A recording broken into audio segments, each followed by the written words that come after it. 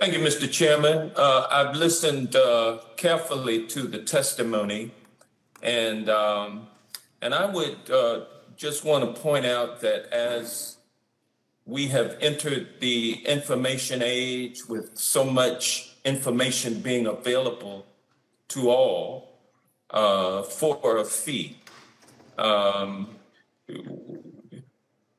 why not allow the law enforcement agencies to purchase uh, specific uh, data uh, for their purposes. I'm speaking along the lines of uh, Representative Issa, who talked about law enforcement just doing uh, not surveillance, but just doing old fashioned shoe leather investigatory work, going around asking questions, uh, looking at cameras on a in a, a, a public camera uh, that's mounted on a pole.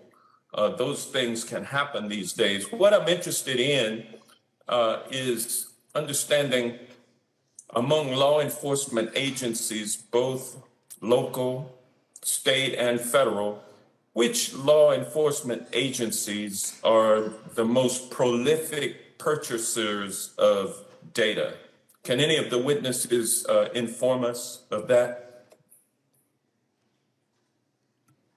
Well, it's it's hard to tell because there's a real lack of transparency, as Elizabeth has been uh, has been saying around what these contracts entail and who what what entities these agencies are contracting with. But I do know, I mean, it's well known that that ICE is a major. You, they're developing big um, infrastructure. Um, that focuses on predictive policing analytics and data brokering analytics. But I do think, I mean, I think if people knew how many um, state and local law enforcement agencies were also using these technologies, they would be shocked. Um, thousands. And that's and what I'd like. To, that's that's what I'd like to know.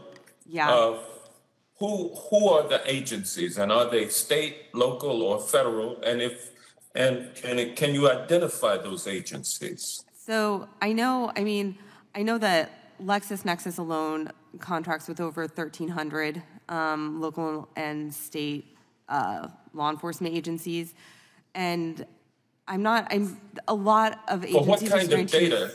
For all what kind of data? All all of the data. They sell data dossiers what, containing. Generally speaking, generally speaking, yeah. what kind of data is mostly sought by law enforcement agencies? So they purchase data dossiers that contain over 10,000 types of data from, from 10,000 different sources. It's billions and billions of data points that are everything from your job history, your geolocation data, your um, work history, your, your home address, all your licenses, your voting records. I mean, just everything. And, and more and more, they're also buying predictive policing technologies. So those are algorithms that kind of sift through that data and predict you know, they, they, they drop heat lists or, uh, about who's most likely to commit a crime, where those people are, who their associates are. It's, it's really, really invasive, and I don't think there's a kind of data that me, isn't included. Let me ask you this question. What, what entities or individuals are the prime targets of this data collection by the agencies that are most prolific in collecting that data? I mean, and we don't know who that is, but yeah. tell us what kind of data are they seeking and it, against whom? It tends to disparately impact people who already have a lot of data in criminal record system, which is usually people of color, um, especially black men. and then, so we're so so we're basically talking about uh, local law enforcement agencies uh, developing information uh, on uh, criminal suspects uh, who are uh, thought to perhaps have violated state laws? Uh, yeah, go ahead. If, if I could just jump in on that, the, the, one of the, when you say who is being targeted, I think that one of the main problems is that no one is being targeted. It's a dragnet.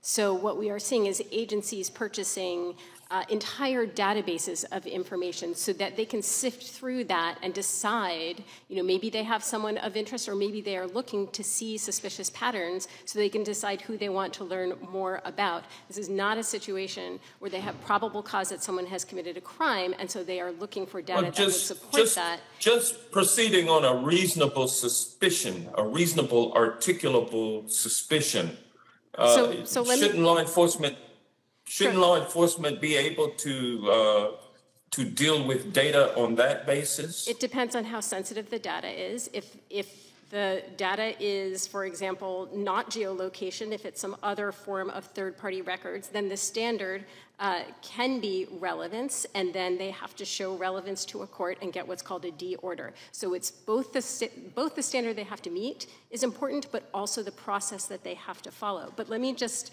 when you, when you say reasonable suspicion, the ACLU's documents show that during a three-day period in 2018, for just one piece of the southwestern United States, DHS collected 113,654 location points.